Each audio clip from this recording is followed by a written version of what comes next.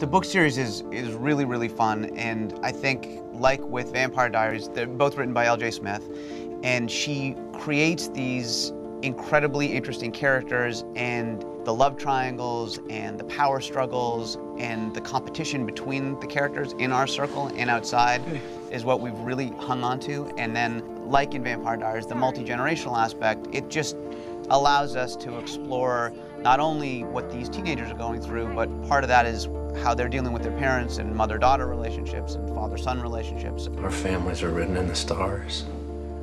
We're destined. It's always been that way.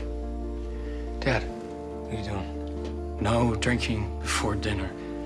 I think in the book there was 13, 12. How many hmm. characters were there in the circle? I think 13. You know, it's really hard in a weekly series get to know 12 different characters with 12 different storylines. It's I would I mean that's I don't know how I mean that's daunting just to think about it. And we so we we wanted to take the the best aspects of those characters and and so that everyone could have a unique perspective on witchcraft, on the circle, on each other, instead of having a lot of overlap. So we just kind of keyed into the most important six ideas behind what they were doing and, and did that. I believe we can do great things with our power.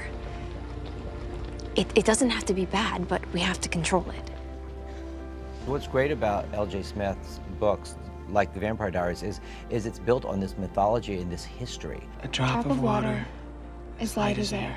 the world she's created in terms of the witchcraft and the magic and the mythology, we've taken the very best elements that, that she gave us in as far as what they can do and who they are. Are you doing this? We are.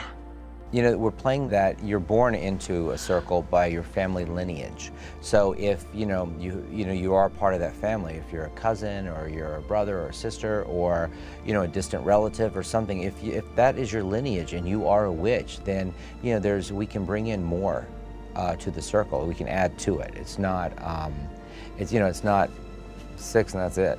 You know, there's other witches out there.